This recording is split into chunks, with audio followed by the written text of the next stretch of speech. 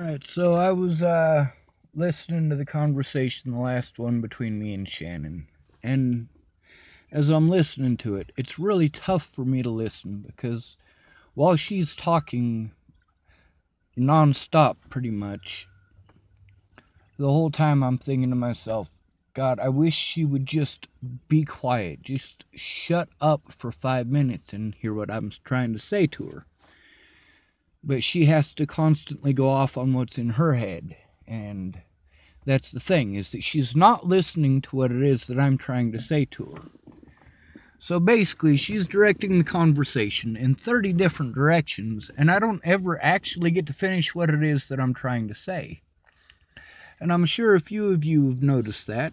And then there's a few of you who hate me outright and literally hate the fact that I'm speaking at all. But that's what it's like to speak to Shannon. She doesn't hear anything that I have to say. And she catches a little bit here and there, but for the most part, she's so busy talking that she's not able to understand, and I'm not able to say what it is that I'm trying to say. The whole conversation, I'm frustrated as fuck because she's not listening. Now, she did listen a little bit better than normal. She did spend a little bit more time listening than she normally does. Most of the time, it's non-stop jabber. And that's the thing. People get things wrong because they have their own assumptions about things, and then they want to talk about their assumptions like their assumptions are set in stone. And that's just not the case. The fact is, I needed somebody to listen, somebody who wanted to help, who would actually listen to what it is that I had to say.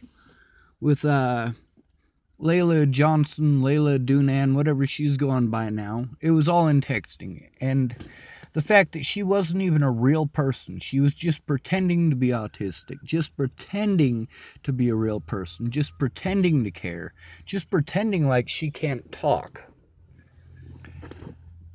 She was catfishing. And I didn't even know what catfishing was until uh, Layla Johnson, by the way.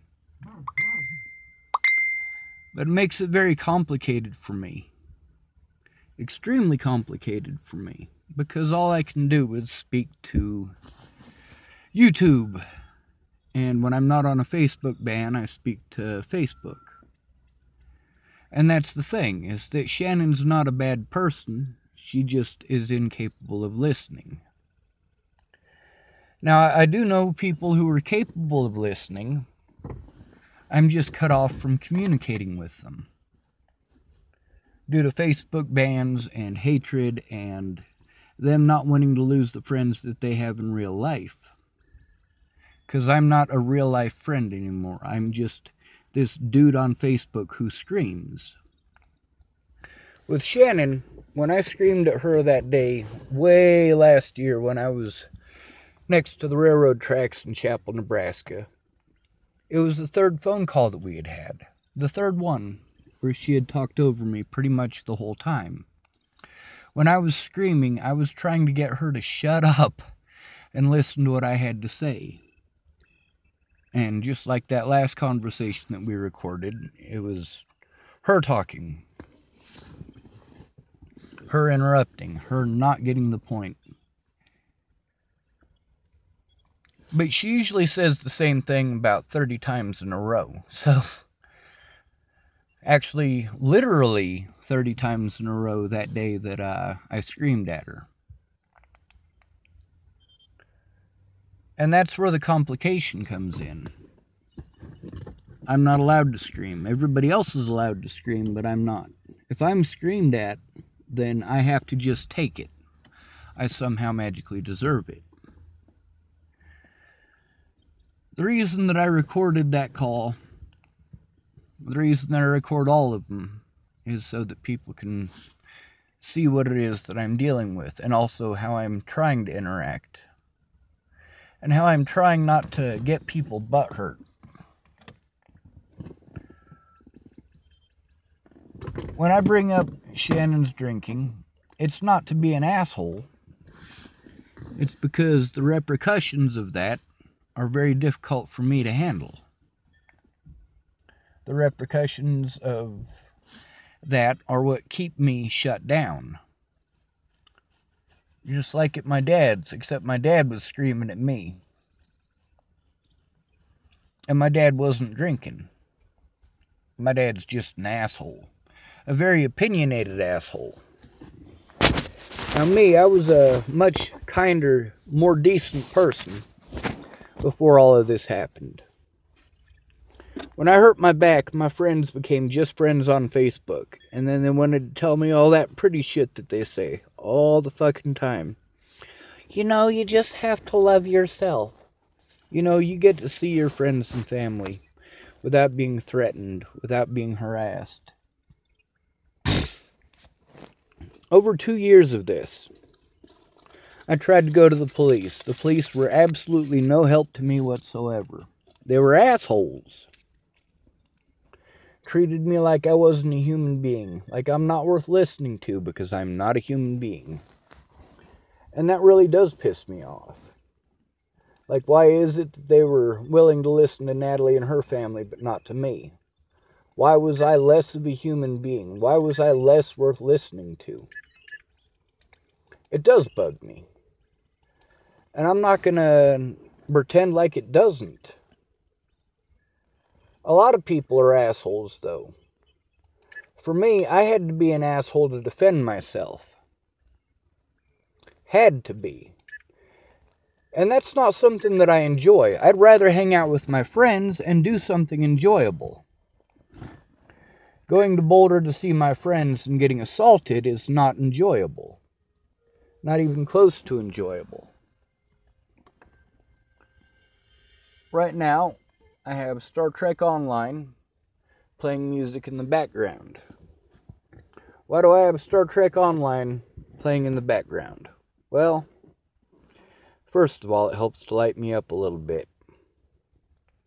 Having a black screen, sometimes when I try to post it up, it says that it's a duplicate and it won't allow me to post it.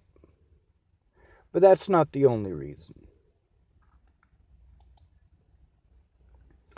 Now, I try to treat people like human beings. I try to treat them the way that I want to be treated. But it got to the point where I ended up having to treat people how they treat me. So they would get the point. But instead of getting the point, instead of understanding that I'm treating them the way that they treat me, they play victim. They whine and complain. And then complain and whine at me about whining and complaining.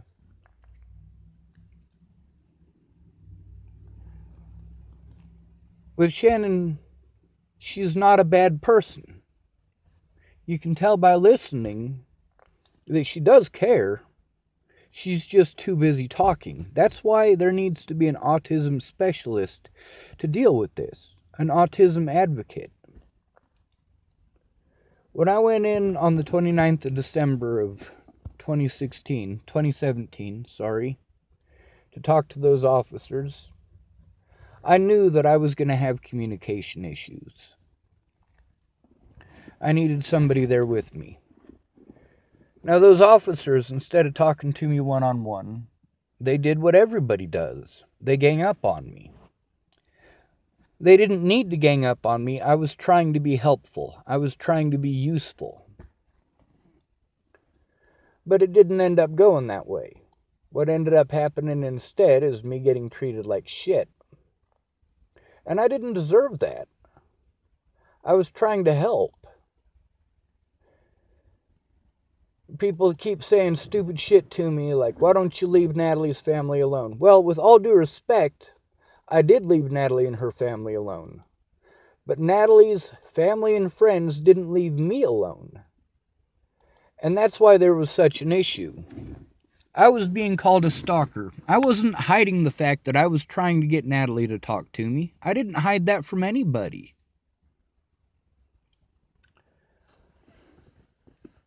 Now, when it got to the point where I was calling her names, I'd already been assaulted on multiple occasions. I got a hold of her mother before I exposed Ted. I'd been thinking about exposing Ted since June or July of 2017 because he wasn't being assaulted and he actually did those things to those little girls in Virginia. Except he didn't do it in Virginia. And they weren't little girls when they were in Virginia. They were grown women. They were adults. Me, as soon as I became an adult, I started getting treated like an adult. When I was a child, I also had to get treated like an adult. Actually, I got treated like a lab rat. I got treated like an animal. But that's neither here nor there. The fact is, I don't bring these things up to try to down on people and treat them like crap or stab them in the back. I do it so that they understand how it is that somebody who is having a serious issue with sensory overload and having already too much on their plate, then these people have expectations of me. Shawn, do this. Shawn, do that. Shawn, do this. Shawn, do that. Shawn, if you do this. No, you need to shut up for once and listen. Listen to understand, not to respond. Instead of bullying because you decided, well, don't decide. Look at all of the facts and understand that I have technical difficulties in showing those things, but I'm trying. And the harder I try, the more shitty people are to me, which is kind of stupid. Me, I don't want to treat anybody badly. But it was not a choice. Who would want to treat somebody badly? Who would make that choice? Why would anybody want to do that?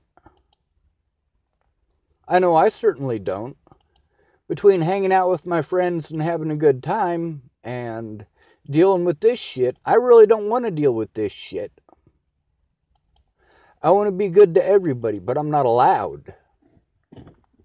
And folks don't understand how much that hurts me either.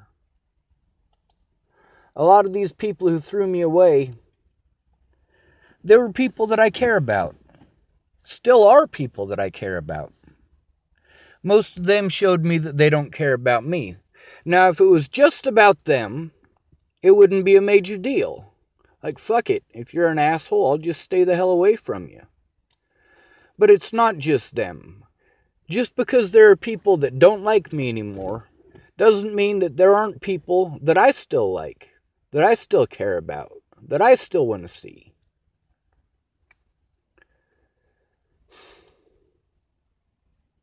And their words, them coming forward and telling the truth, doesn't just prevent me from seeing them, it prevents me from seeing all of the people that I care about. And that's why I'm so pissed off at them. People like Darren O'Connor. Darren O'Connor, well, he's an asshole. It doesn't register to him because he gets to see his family. It doesn't register to any of these people who get to see their family. They don't realize how hurtful it is not to see them. Now, Angela Kurzweil, she fucking flips shit when she can't see her son. she goes off the deep end and she gets fucked up on methamphetamines and then she fucking wigs out at everybody.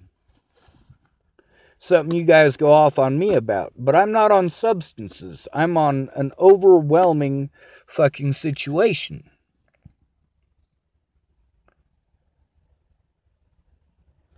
Imagine that you're being assaulted for shit that you didn't do.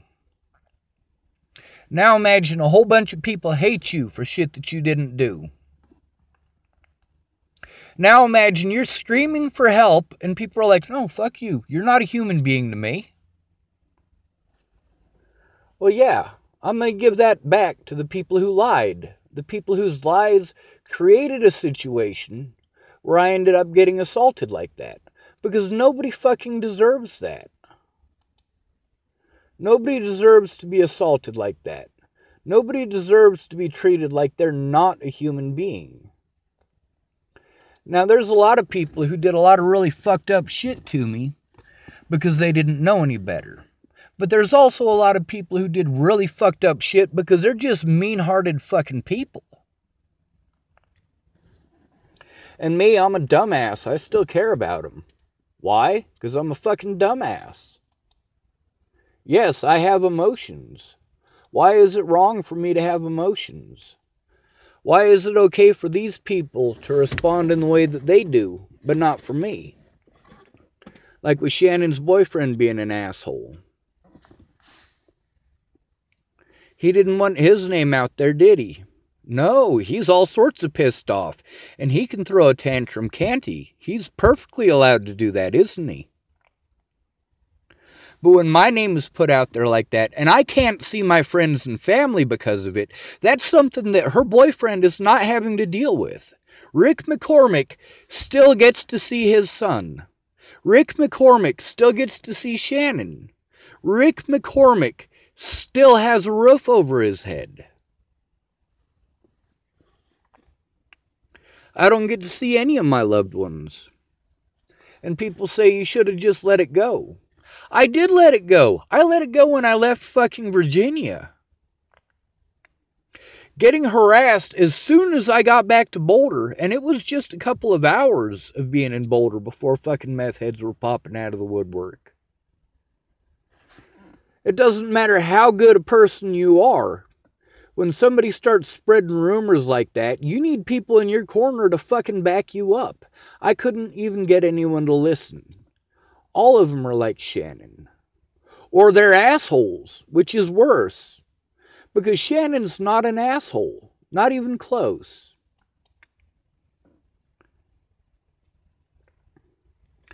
It doesn't register to her that when she's talking over me like that, that I'm trying to express something and she keeps interrupting what it is that I'm trying to say.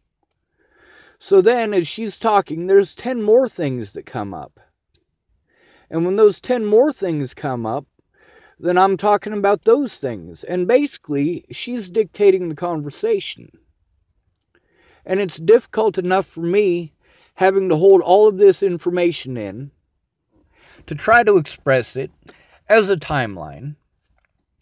And then she wants to talk over me. Her opinion is more important. And that's the point, is that I have the facts because I was there. She has opinions because she was not there. Now, the parts where she was telling facts, I am very grateful for that. The things having to do with Kara Johnson, those are important. That is important information. So it's not like Shannon is being completely useless because she's not. It's just a matter of getting that information and it's also a matter of her stopping long enough to hear what it is that I'm saying. Because a lot of times she doesn't hear what I'm saying. I can say it 10 times, but she's got a nugget in her head. Something that she wants to say. That's not listening to understand, that's listening to respond. And if you're listening to respond, then you're not listening. That's why I was so good at helping people is because I am able to actually listen to them. But then people are like, well, why don't you listen to these other people? Because their fucking opinions don't matter. Their opinion doesn't matter. What matters is the facts. So, in order for them to help me, they have to drop their opinions and find out the facts. But we never get that far.